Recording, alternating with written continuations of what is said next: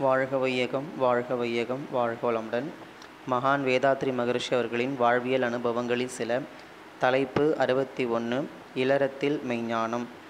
ஐம்பது வயதிற்கு மேற்பட்ட அன்பர் ஒருவர் மகரிஷியிடம் தீட்சை பெற்றார்.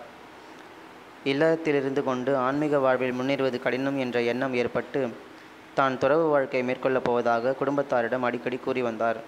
அவரது குடும்பத்தார் வந்து மகரிஷியை பார்த்து அவரை பற்றி கூறி சன்னியாசியாகி விடுவாரோ என பயப்படுவதாகவும் தக்க அறிவுரைகள் வழங்கும்படியும் கேட்டுக்கொண்டனர்.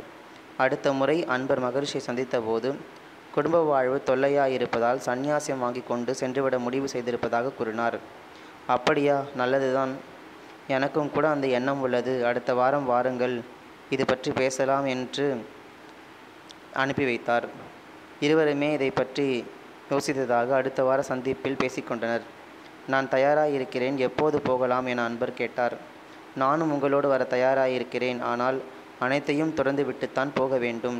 அடுத்த வேலை சாப்பாட்டிற்கு என்ன செய்வது?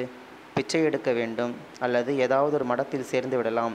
புதிதாக மடத்தில் சேர்பவர்கள் சமையல் பணி தூய்மை பணி ஆகிய உடல் உழைப்புகள் செய்ய வேண்டும். நீங்கள் எந்த பணியை எடுத்துக்கொள்வீர்கள்? மற்றதை நான் எடுத்துக்கொள்கிறேன் என்றார் மகரிஷி.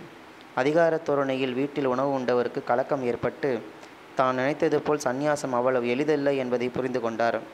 மீண்டும் யோசித்து பிறகு வருவதாக கூறி இல்லம் சென்றார். அடுத்த வாரம் அவரது குடும்பத்தினர் மகரிஷியை சந்தித்து சந்நியாசம் போகும் எண்ணத்தை விட்டுவிட்டார் என்றும் தான் ஏதோ அறியா மயக்கத்தில் கூறியதை மகரிஷிடம் போய் கூறிவிட்டீர்களே என்று கூறியதாகவும் மகரிஷியுடன் தெரிவித்தனர். ஒரு பெண் அன்பரும் சுவாமிஜி உங்களைப் போல சமுதாய தொண்டு செய்ய ஆசையாக இருக்கிறது குடும்ப பொறுப்புகளை கவனிக்க நேரம் சரியாக இருக்கிறது இதிலிருந்து விடுபட்டு எப்போதும் ஆன்மீக வாழ்க்கையில் இருப்பதற்கு வழி சொல்லுங்கள் என கேட்டார். குடும்ப விவரங்களை கேட்டு அறிந்து கொண்டார்.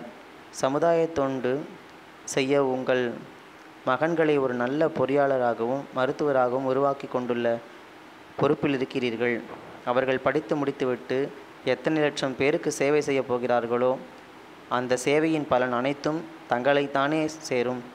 அவர்கள் ஒரு லட்சம் பேருக்கு தொண்டு செய்தால் நீங்கள் ஒரு லட்சத்து இரண்டு பேருக்கு தொண்டு செய்தாவீர்கள் அல்லவா?